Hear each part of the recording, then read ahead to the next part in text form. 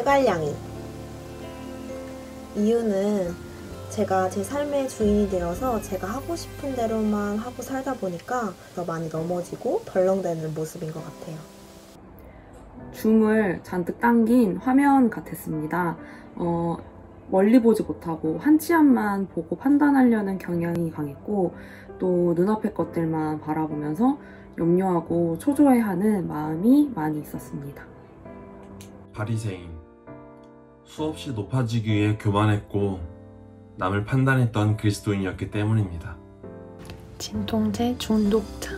계속해서 생기는 갈급함과 슬픔을 어떻게 해결해야 될지 방법을 몰라서 진통제만 맞으면서 고통을 잊으려고 노력하는 환자와 같은 모습이었습니다. 이 질문에 딱 떠오르는 단어는 오뚜기예요. 여전히 흔들리고 감정 기복이 있고 신앙적 up down이 있지만 예수님과 동행한 후로는 그 간격이 상당히 많이 줄어들었어요.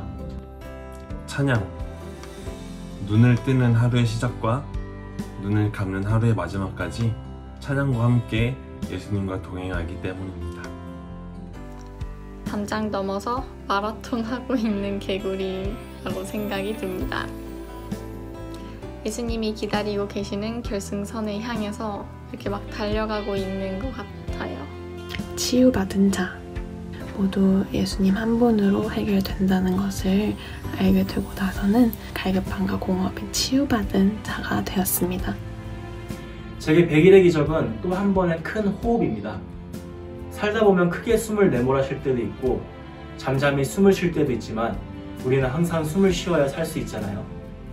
100일의 기적이라는 큰 호흡이 끝나도 동행은 계속되어야 하고 예수님과의 동행이 우리가 영적으로 할 수 있는 방법이라 생각합니다. 100일의 기적은 영적 지구력 훈련이다. 어, 끈기도 없고 뭘 오래 하는 거를 싫어하는 저인데 되게 그 안에 체크리스트도 있고 어떤 숫자라는 그런 목적성이 트리거가 되면서 제가 이 레이스를 계속 나아갈 수 있게 해주는 좋은 훈련이 되었던 것 같습니다. 100일의 기적은 내가 일으킬 수 있는 가장 큰 기적이다. 기적이라는 것이 엄청나고 제가 할 수 없는 것이라는 생각이 드는데 주님과 동행하는 100일은 저도 기적의 주인공이 되어서 변화를 체험할 수 있는 시간이었습니다. 100일의 기적은 챕터이다. 평생이라는 책 한 권에 100일의 기적은 예수님과 동행한 또 하나의 챕터이기 때문입니다. 예동일기로 날이 갈수록 주님과 더 가까워질게요. 사랑해요 예수님. 소망 없는 저를 일으키시고 소망이 있다 함께 걷자 하시며 항상 동행해 주셔서 감사합니다. 예수님 만세!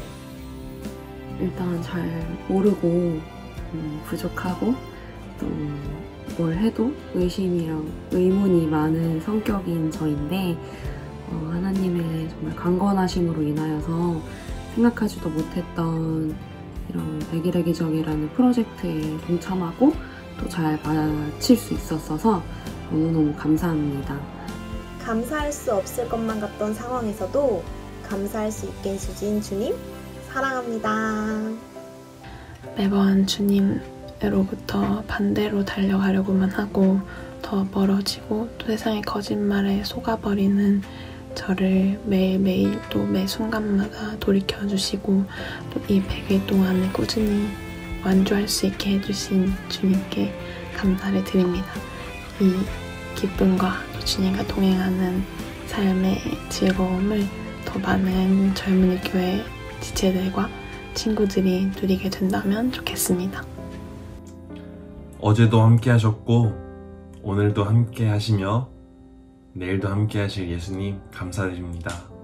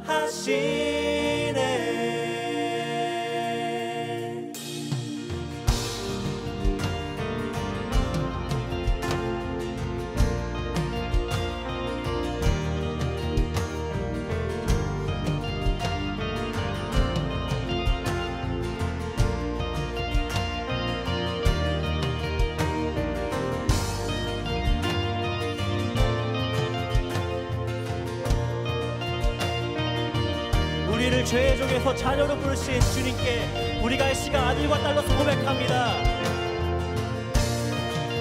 주께서 택하시고 택하시고 지키시며 날 자녀라 하시네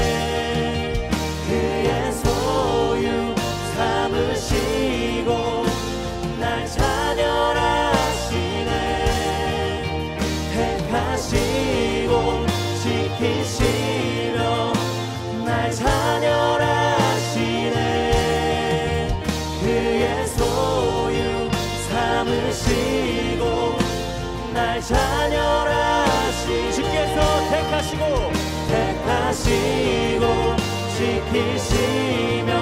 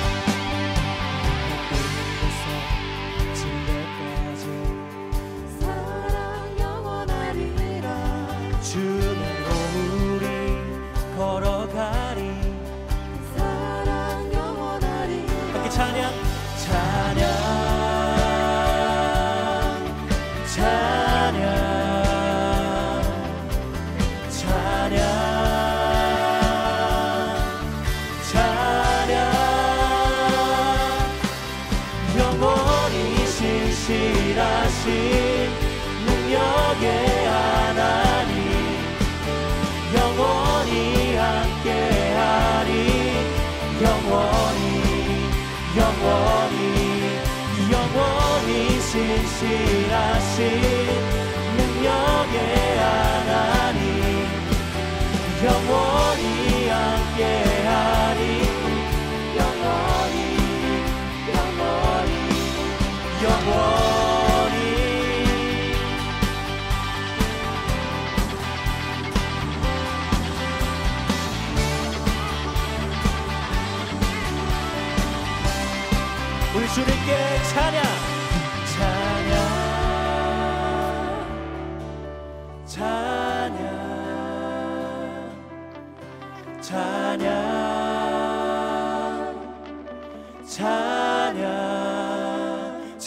찬양 찬양.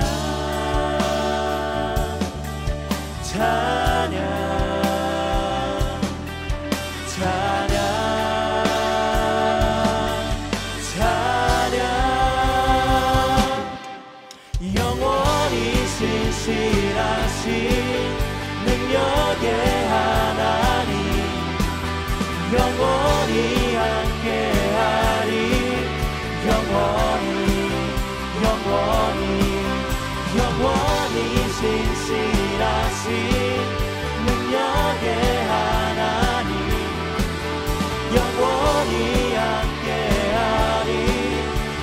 한 번 더 영원히 신실하신 영원히 신실하신 능력의 하나님. 영원히 함께하리. 영원히 마지막으로 영원히 신실하신 영원히 신실하신 능력의 하나님 영원히 함께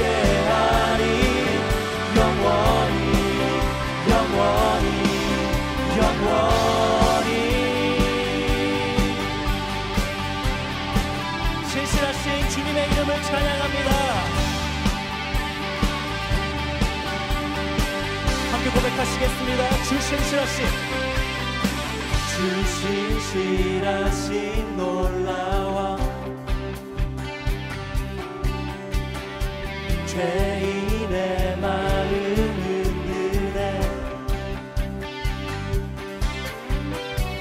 자비의 물가로 인도하시니 그 무엇도 끊지 못해. 오 주여. 주여 기억하소서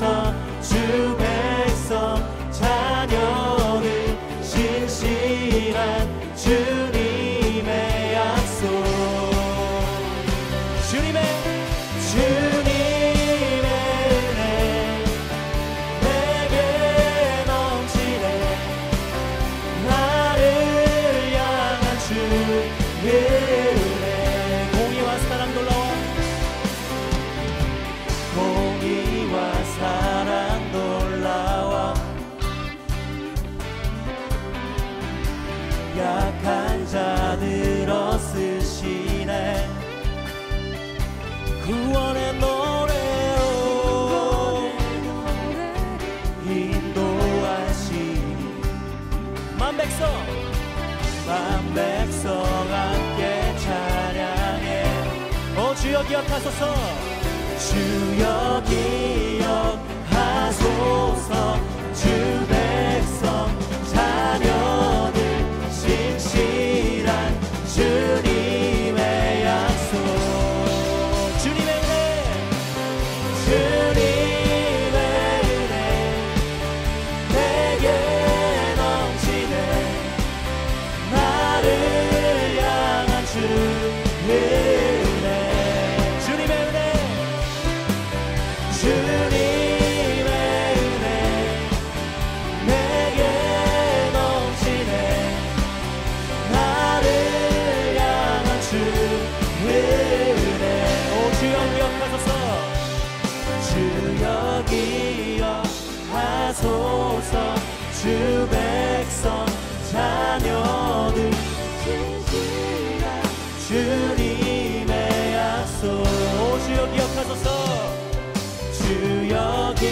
기억하소서. 주여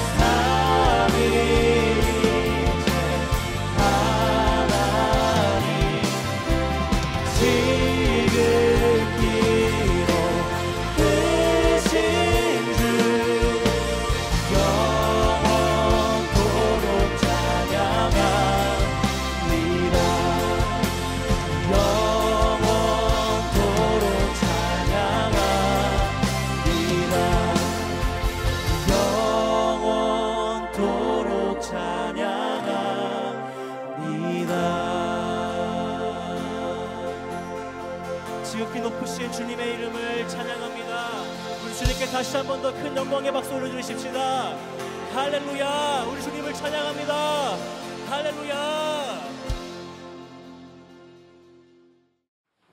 사랑이신 하나님 감사합니다. 아무 자격 없는 우리를 하나님의 자녀로 부르시고 주님의 보혈로 막힌 담을 헐어주신 은혜를 찬양합니다. 지금 이 시간 예수님과 동행하는 증인들이 마음으로 하나 되어 주를 예배할 때 주님 기뻐 받아 주소서. 각 처소에서 드려지는 예배가 하나님을 대면하는 예배인 것을 늘 기억하게 하소서.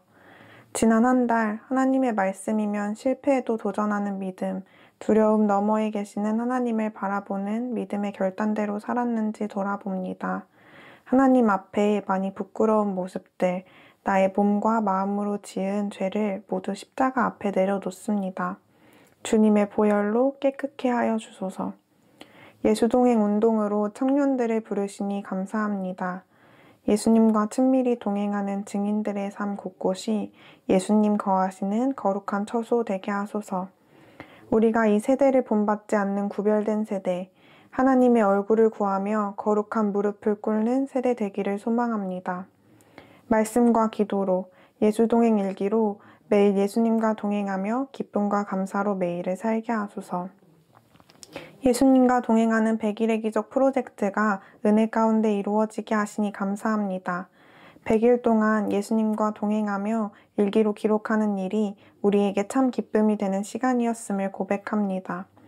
몸과 마음이 무너지는 하루, 지쳐서 모든 것을 포기하고 싶은 나날들도 있었지만 예수님과 동행하니 새 힘과 능력을 주시는 것을 누립니다. 넘어지는 날에 일으켜 세워주시고 그럼에도 불구하고 감사하는 믿음을 주시는 주님을 찬양합니다. 앞으로도 평생을 주님과 동행하며 살기를 소망합니다.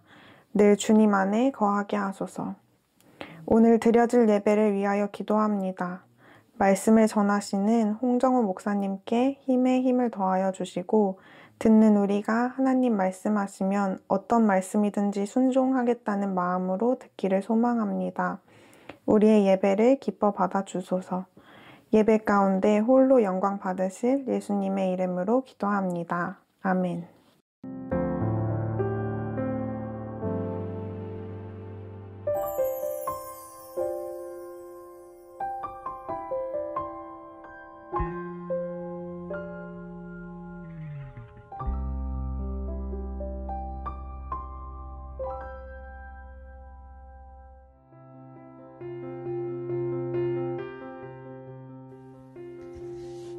28일 월요일.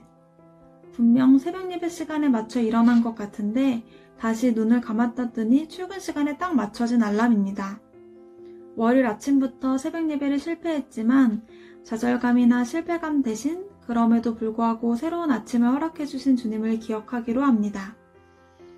지난 국내 선교 때 박미정 전도사님께서 할렐루야 하고 일어나면 새벽 예배에 맞춰 눈이 번쩍 뜨인다고 하셨는데 내일은 꼭 할렐루야 하고 일어나야겠습니다. 추석 전 이틀밖에 출근하는 날이 없어 오늘은 매우 바쁠 것 같습니다. 추석 행사도 준비해야 하고 레포트 카드도 나가야 하고 회의도 해야 하고 점검해야 할 업무 보고도 많습니다. 주님, 그렇지만 분주함의 마음을 빼앗기지 않도록 도와주세요. 급한 것보다 중요한 것을 더욱 생각하며 하루를 보낼 수 있도록 도와주세요. 아이들이 도착하면 그때부턴 정신이 없습니다. 나를 무조건적으로 사랑해주는 사랑스러운 아이들이지만 정말이지 하루에도 10번은 넘게 씨름을 하는 것 같습니다. 그래도 아이들과 함께 있으면 주님이 나를 향한 마음을 더욱 잘 알 수 있습니다. 잘못한 일을 숨기고 때론 혼나고 나만 칭찬받고 싶고 스티커도 받고 싶고 친구를 도와준 것을 자랑하고 싶고 그런 아이들을 마주하고 있으면 주님이 왜 지금 나를 훈련시키시는지 혹은 왜 기다리게 하시는지 조금은 알 것도 같습니다.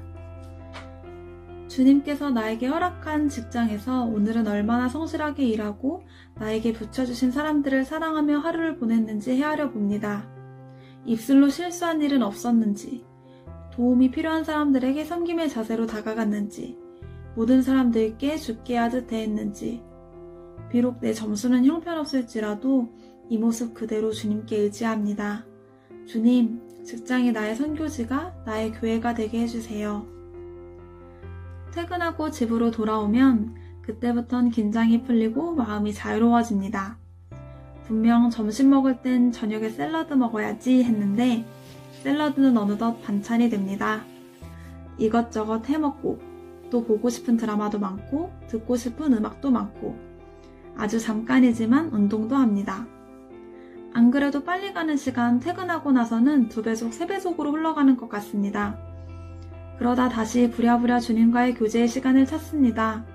제자훈련 예습도 하고 말씀도 묵상하고 하루를 보낸 나의 일과를 동행일기에 적습니다. 동행일기에는 정말 특별한 은혜가 있습니다. 처음엔 사람들 앞에 내 마음밭을 적나라하게 나누기가 꺼려지고 또 워낙 감정기복도 심해서 월요일에 주님과 행복하다고 고백해놓고 화요일에 땅에 꺼져라 한숨 쉬는 내 모습을 보이기가 쉽지 않았습니다. 그러나 그때 받았던 은혜와 감정, 말씀을 기록해두면 또 다음날 무너지더라도 은혜 받았던 기록 때문이라도 조금은 더 주님을 의식하며 다시 일어날 수 있는 힘이 생기는 것 같습니다. 아마 이렇게 일기를 나누고 나서 저는 내일 아침에 또 어떠한 부분에서 좌절하고 있을지도 모르겠습니다. 하지만 매일 주님을 의식하고 매 순간 주님과 교제하며 하루를 보내는 건 너무나 든든하고 더없이 행복한 일입니다. 모든 순간에도 기뻐할 수 있는 힘이 여기에 있는 것 같습니다. 나의 의의 점수는 형편없지만 주님은 100점 만점이라는 것. 그런 주님 안에서 나는 죽고 오직 주님으로만 살 수 있다는 것이 너무나 감사합니다. 내일은 꼭 할렐루야 하고 새벽에 일어나야지. 주님 사랑합니다.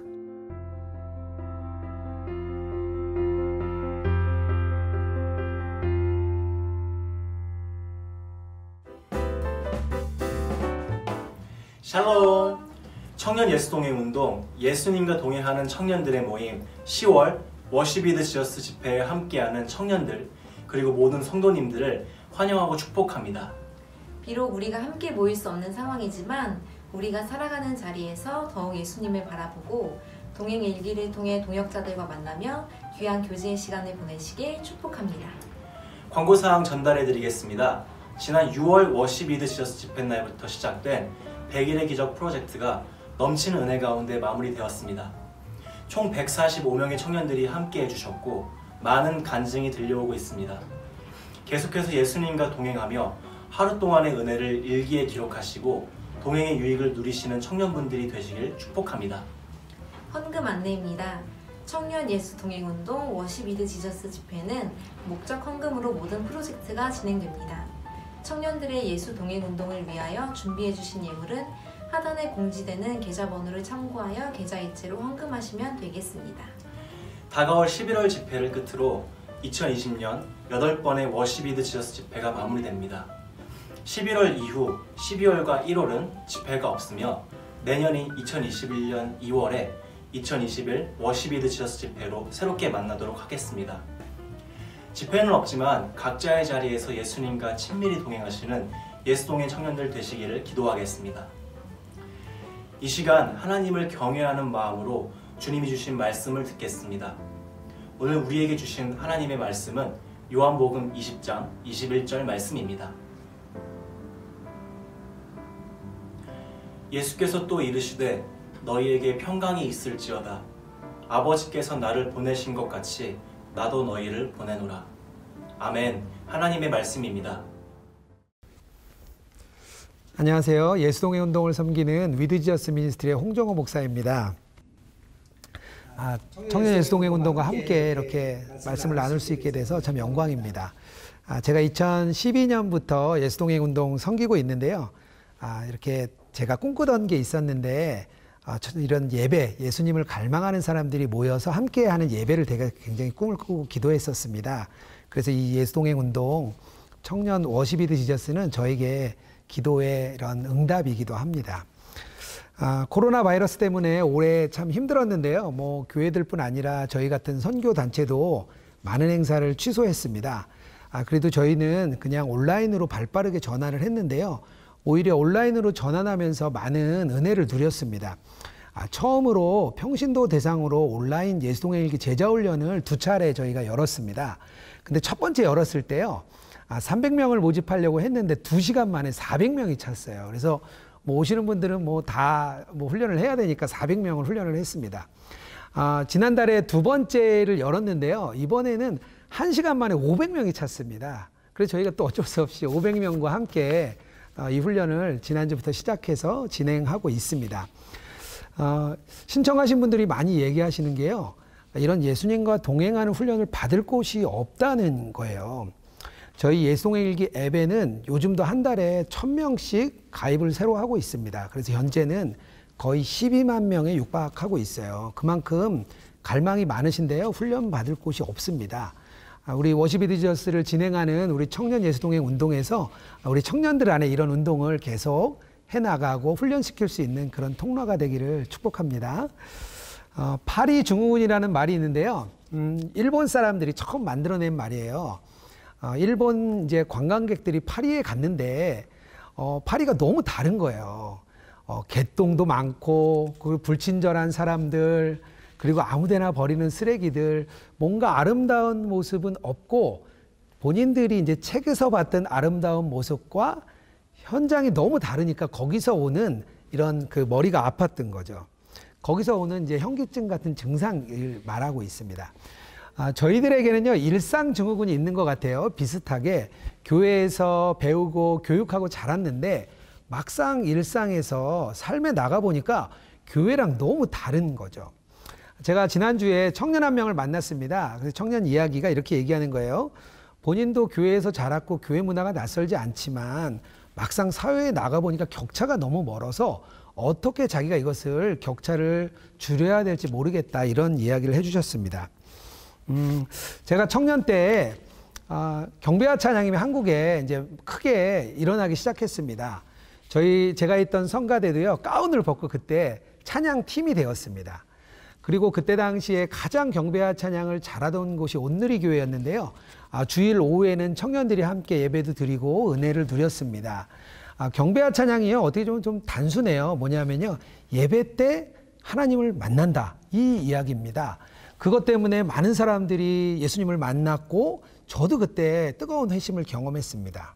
그리고 그때 목회자도 일어나고 선교사도 생기고 많이 일어났죠. 아, 그런데 한 가지 아쉬운 점이 있었는데요. 삶에서는 어떻게 살아야 되는지 가르쳐 주지 않았습니다. 그래서 물어보면요. 삶이 예배가 되라 뭐 이렇게 말을 했는데요. 그 말을 도저히 저는 이해하지 못했습니다. 아, 왜 이런 일이 발생하는 걸까요? 그거는요, 저는 일상에 대한 성경적인 원리를 모르기 때문이라 생각합니다. 그리고 또 하나가 있는데요. 예수님과 동행하는 훈련을 해보지 않았기 때문에 그렇습니다. 어, 오늘 본문 말씀대로 예수님이 우리를 이 땅에 보내셨습니다. 하나님께서 예수님을 보내시고요. 예수님은 우리를 이 땅에 보내셨어요. 그렇다면 하나님이 예수님을 보낼 때 기대하던 게 있겠죠. 그리고 예수님이 또 우리를 보낼 때 기대하던 게 있습니다. 그런데요, 그리스도인들에게 가장 큰 문제는 교회 안에 갇힌 복음이라는 거죠. 어, 그런데 그 핑계를요, 어디에 대냐면 일이나 학업에다가 그 핑계를 댑니다. 아, 일 때문에 어, 고통스럽고 공부 때문에 힘들고 그리고 복음대로 살아가지 못하는 건 일과 학업의 과중 때문에 그렇다 이렇게 이야기를 합니다. 그리고 또 어떤 분들은요, 아, 다 아담 때문이야. 뭐 이렇게 얘기하는 분들도 있습니다. 아, 세상 사람들은 어떻게 생각할까요? 가장 오래된 문서가 있는데요. 이게 메소포타미아 지방에 있는 그런 신화입니다. 거기 신화에 보면요. 상급신과 하급신이 있어요. 그런데 이제 하급신들이 상급신을 위해 일하다 보니까 싸움이 일어났습니다. 어, 그들 안에 전쟁이 일어나고 어느 정도 정리가 되고 나서 보니까 야 이거 우리끼리 일하는 사람이 있으니까 안 되겠다 그래서 사람을 창조했습니다. 신들을 섬기기 위한 사람을 창조한 거죠. 어, 그렇기 때문에 세상 사람들 입장에서는요 일은 처음부터 고통입니다. 결국 생계를 위해서 일하고 또 성공을 위해서 그냥 톱니바퀴처럼 돌아가는 그 삶에서 계속 살아가고 있습니다. 어, 그리스도인들에게도요 잘못된 생각이 한 가지 크게 있습니다. 뭐냐면요 교회에서 하는 일은 굉장히 성스럽고 사회에서 일하는 것은 속된 일이라 생각을 합니다. 어, 그러다 보니까 교회는 성스럽고 세상은 속되다는 이 이분법 안에서 헤어나지 못합니다. 어, 그래서 세상에서 아무리 열심히 일해도요, 어, 영적인 성취가 없습니다. 중세 시대까지는 그랬습니다. 종교개혁 이전에 어, 카톨릭 교회에서는요, 수도사나 신부나 그리고 수녀님들을 신령한 직분이라고 이야기했습니다. 그리고 밖에서 하는 모든 일들은요, 세속적인 직분이라고 그들은 가르쳤습니다. 그런데 루터가요, 직업이라는 이름을 뭐라고 얘기하냐면요, 부르심이라고 표현을 했어요. 그래서 그때 당시에 굉장히 난리가 났습니다. 아니, 직업이 어떻게 하나님의 부르심일 수 있느냐. 하지만 루터는요, 그리스도인이라면 일하는 곳이 다를 뿐이지 동일하게 하나님을 일을 한 사람이다. 이렇게 이야기를 했습니다. 루터는 무엇을 근거로 그렇게 이야기를 했을까요? 성경에서요, 일은요, 처음부터 저주가 아니었습니다. 아, 하나님의 계획 안에 있었고요. 우리가 하나님의 창조에 같이 이렇게 동참하는 일이었습니다. 창세기 1장 28절에요. 하나님이 그들에게 이르시되 생육하고 번성하여 땅에 충만하라 땅을 정복하라 이렇게 말씀하셨죠. 창세기 2장 15절에는요. 여호와 하나님이 그 사람들을 이끌어 에덴 동산에 두어 그것을 경작하고 지키게 하였다 이렇게 말씀이 있습니다. 여기서 경작하라는 의미가 히브리어로요 아바드라는 뜻인데요. 이것은요 예배를 뜻하는 말입니다. 출애굽기 12장과 13장에 유월절 때 제사 의식을 할 때 쓰는 그 단어가 바로 이 단어입니다. 그래서 경작하라는 말은요 바로 하나님을 예배하는 것입니다. 일이 결국에는 예배를 하는 거죠. 우리가 세상에서 일하는 것은요 하나님의 창조 활동에 이렇게 우리가 동참하는 것을 말합니다. 지키게 한다는 뜻도요. 이것은요 어, 제사장들이 쓰는 단어입니다. 말씀을 지킨다 그런 의미가 이 단어 안에 들어 있습니다. 아, 결국에는요 하나님께서 경작하고 지키게 하라 이것은요 예배한다는 뜻입니다. 일터에서도요 하나님을 예배하는 거예요. 교회에서만 예배하는 게 아니고요.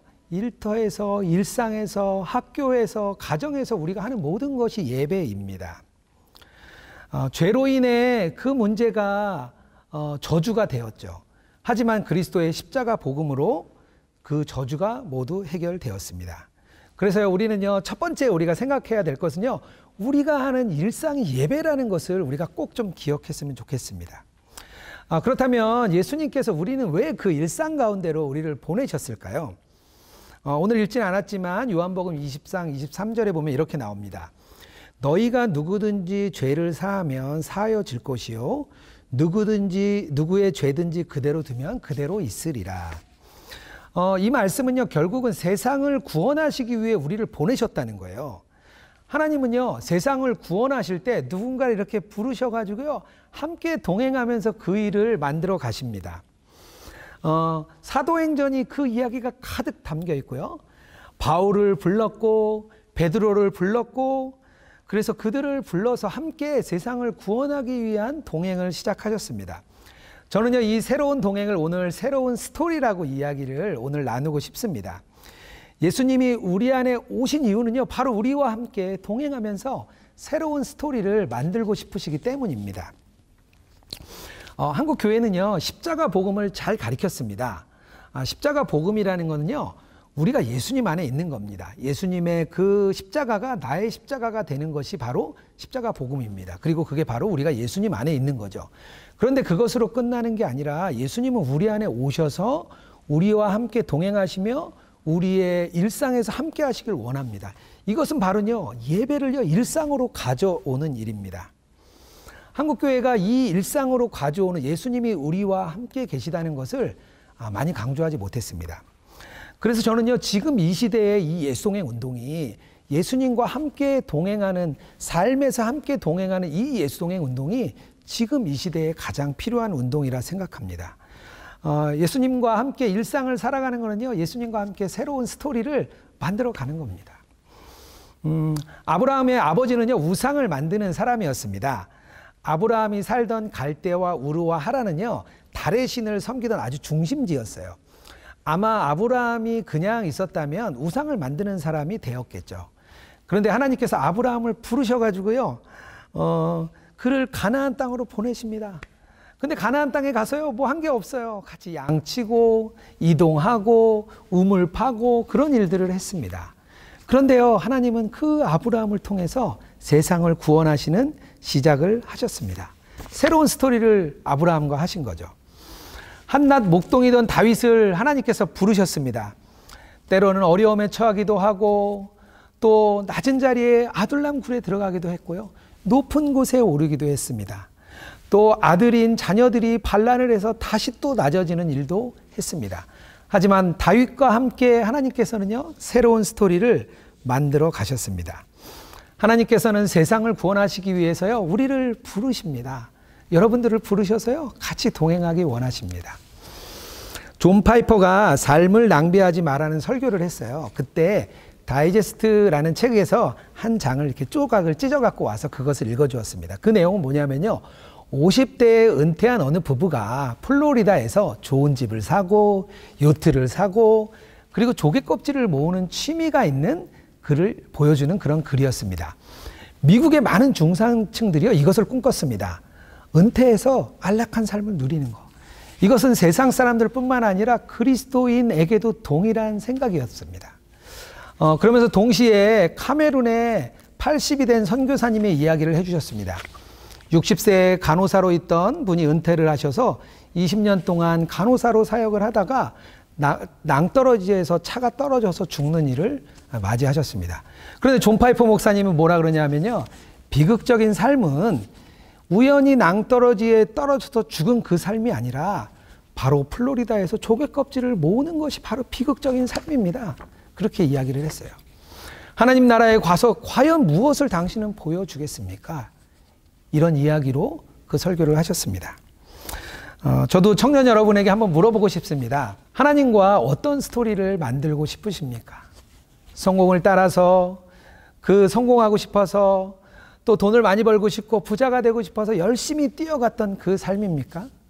아니면 어떤 환경과 어떤 어려움이 있더라도 예수님과 함께한 삶입니까? 청년들에게 물어보고 싶습니다. 어, 하나님과 함께하는 일상은요, 새로운 스토리를 만들어가는 일상입니다. 물론 하나님과 함께하는 삶이라 그래서요, 문제가 없는 게 아닙니다. 모든 문제가 해결되고 완전히 그냥 평안하기만 한 것은 아닙니다.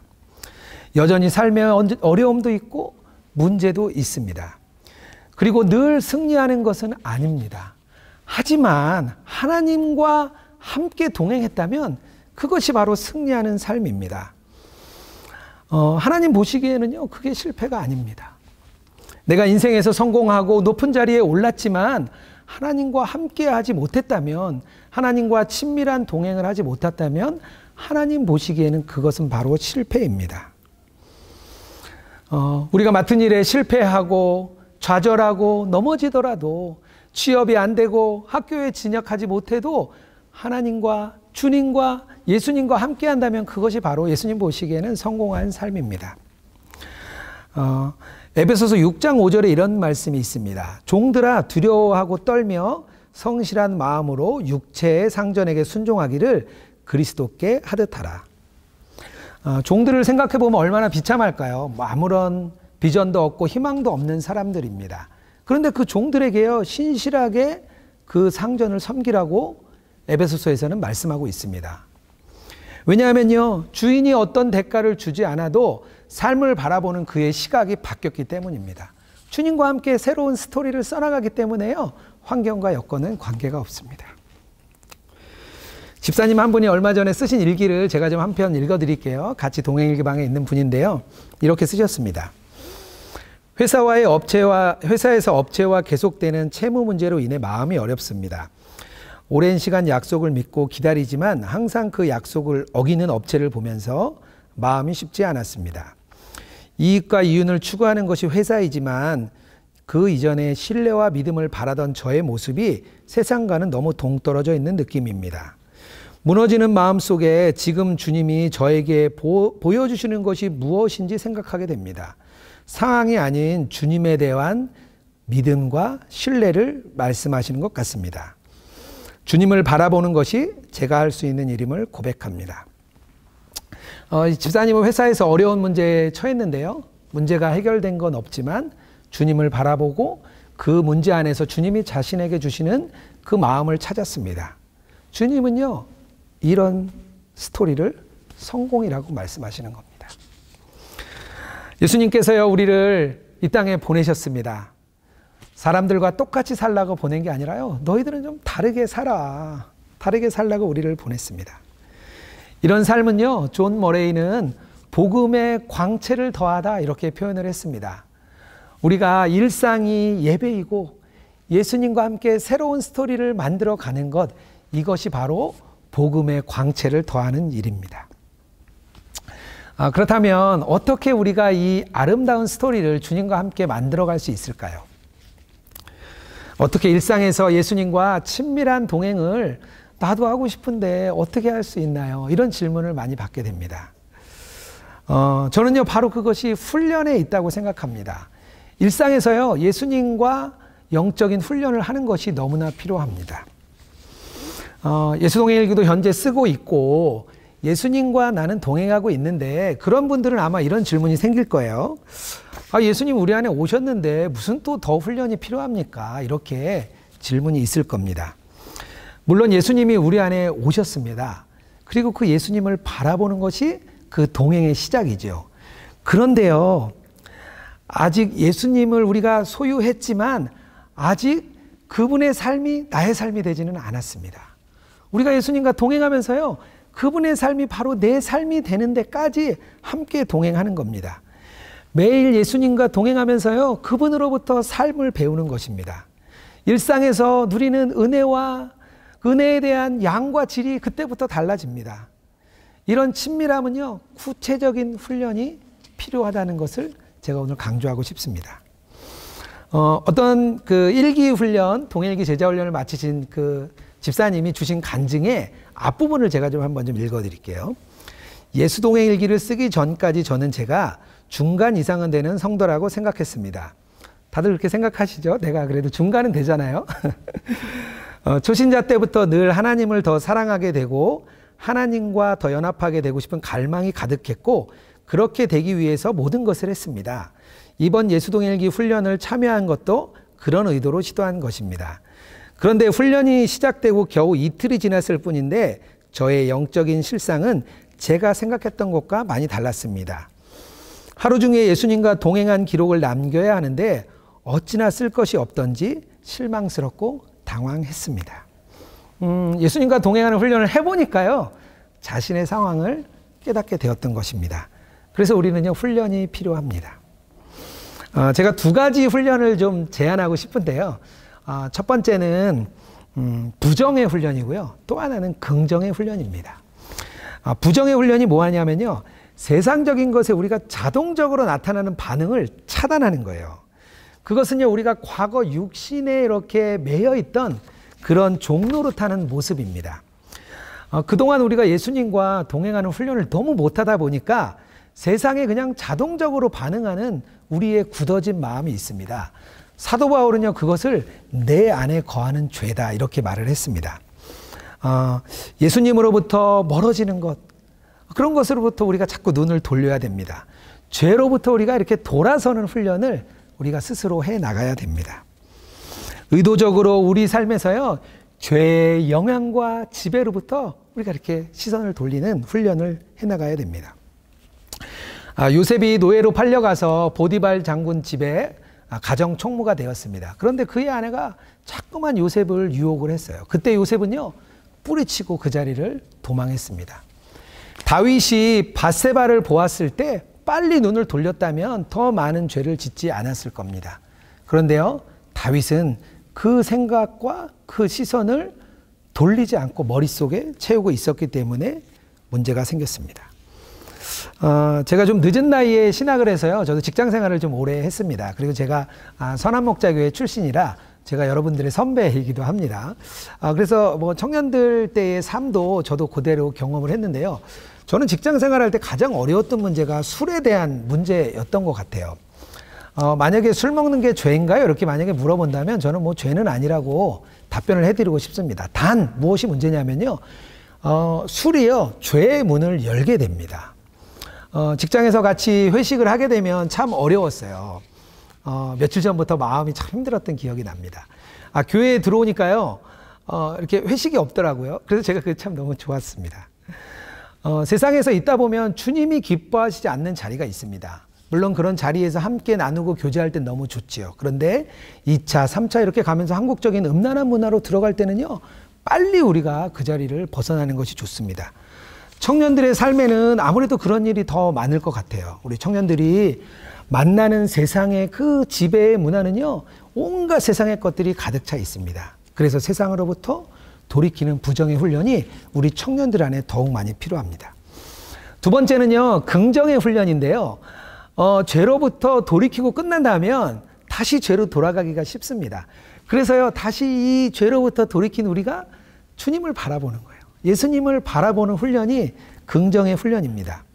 예수님께로 향하고 예수님의 그 인도와 요청을 구하고 기다리는 것이 바로 긍정의 훈련입니다. 예레미야서 42장 6절인데요. 우리가 우리 하나님 여호와의 목소리를 청종하면 우리에게 복이 있으리라. 아, 우리는요, 한 치 앞도 사실 내다보지 못합니다. 그래서 이 상황이 나에게 유익한지, 유익하지 않은지 깨닫지 못하기 때문에요, 자꾸 우리가 주님께 묻는 거예요.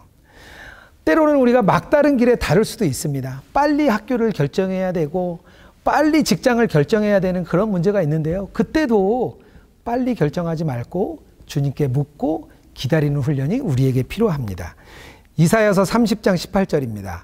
무릇 그를 기다리는 자는 복이 있도다. 주님을 기다리는 거예요. 그게 바로 훈련입니다.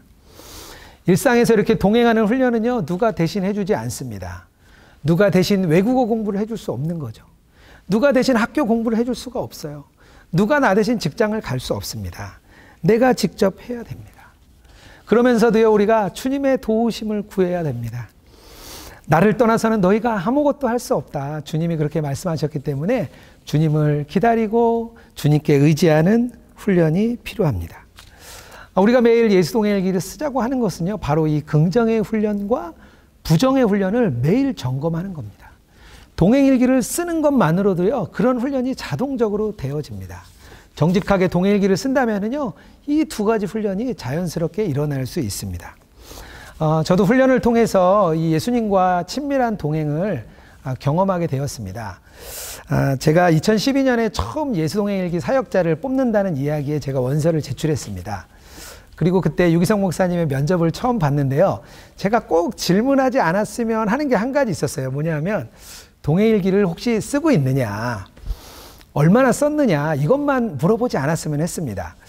왜냐하면 제가 이렇게 돌아보니까요, 어, 2009년부터 유기성 목사님이 많이 강조를 하셨는데, 제가 보니까 한 일곱 번 정도 썼더라고요. 한 3년 동안. 어, 많이 강조를 하는데도 저는 잘 안 써지더라고요. 그래서 한 일곱 번 정도 썼습니다. 근데 다행히 그걸 물어보지 않으셔가지고 제가 잘 통과했고 지금도 이 자리에 있는 것 같습니다. 음, 동일기 사역자가 되고 나니까 일기를 써야 되잖아요. 근데 일로써 일기를 쓰려니까 그것도 참 쉽지 않았습니다. 그런데 그때 우리 동해일기 사역국, 우리 마치 청년 예수동행 운동의 우리 스탭들처럼 그런 분들이 계셨어요. 그분들로부터 제가 많이 배웠습니다. 그분들의 일기를 보고 아 이렇게 쓰는 거구나 하는 것을 배웠습니다. 제가 무너질 때는요 여지없이 그분들이 저에게 댓글을 달아줬어요. 그래서 제가 이렇게 살아나도록 격려해주고 힘을 주셨습니다. 그렇게 시작된 동해일기가 저에게 벌써 8년이 되었습니다. 이렇게 올라오기 전에 보니까요 한 2,000번 넘게 일기를 썼더라고요. 어, 아무것도 모르던 제가 예수님과 동행하게 되었습니다. 크게 다 저는요, 훈련 때문이라 생각합니다. 네, 우리 사랑하는 청년 여러분, 정말 예수님과 이 동행하는 일상 훈련에 꼭 참여해 보시기를 주님의 이름으로 권면드립니다. 아, 예수님께서는요, 우리보다 더 기다리고 계십니다. 우리와 함께 새로운 스토리를 써 나가고 싶기 때문입니다. 왜냐하면요, 그것이 바로 세상을 구하는 일이기 때문입니다. 꼭 예수님과 친밀한 동행이 일어나기를 축복합니다. 우리 청년 예수 동행 운동을 펼쳐나가는 모든 청년들 안에 일상에서 예수님과 동행하는 것이 실제가 되길 주님의 이름으로 축복합니다. 오늘 두 가지 정도 기도 제목을 놓고요. 함께 좀 기도했으면 좋겠는데요. 첫 번째 기도 제목은요. 우리가 일상이 우리의 예배이고 그 일상에서 예수님과 새로운 스토리를 써나가는 그런 삶이 되게 해주십시오. 우리 함께 이 시간 기도하도록 하겠습니다.